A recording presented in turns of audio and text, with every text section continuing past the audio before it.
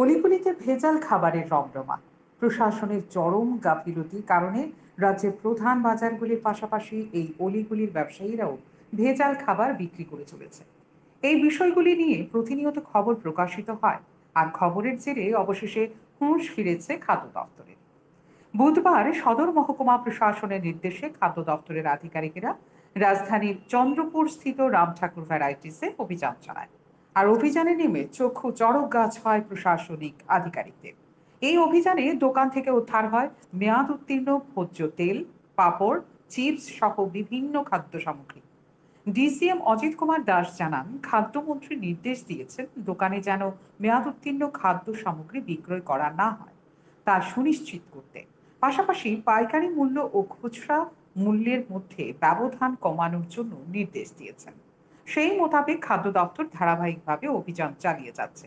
তিনি আরও জানান, অবাক করার বিষয়, এদিন চন্দ্রপুর স্থিত রাম ঠাকুর ভ্যারাইটিস থেকে উদ্ধার হয়েছে বিপুল পরিমাণ মেয়াদ উত্তীর্ণ খাদ্য সামগ্রী।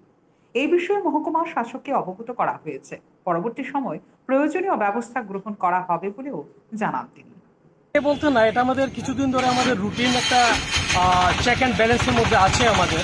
আমাদের মাননীয় খাদ্যমন্ত্রী এবার সরকারে বসে কিছু ডিসিশন নিয়েছেন যে এই যে এক্সপায়ার ডেটেড জিনিস এবং এই যে দ্রব্যমূল্যের যে হোলসেল রেট এবং খুচরা মূল্যের মধ্যে যে ফারাক যেটা, এটাকে মিনিমাইজ করতে হবে আর এক্সপায়ারি ডেট যাতে কোনোভাবেই বিক্রি না হয়। সেই ইনস্ট্রাকশনের বেসিসে খাদ্য দপ্তর এবং ডিস্ট্রিক্ট অ্যাডমিনিস্ট্রেশনের নির্দেশে মাননীয় মহকুমা শাসকের আদেশে আমাদের খাদ্য নিয়ামক sub divisional controller of food, Pradip Bhowmik সাহেব, আমাদের চিফ ইন্সপেক্টর অফ ফুড আছেন আমাদের দেবজ্যোতি চক্রবর্তী সহ আমি DCM Ranjit Kumar Das, SDM sir আমাদের অরূপ দেব স্যারের নির্দেশে আমরা বেরিয়েছি।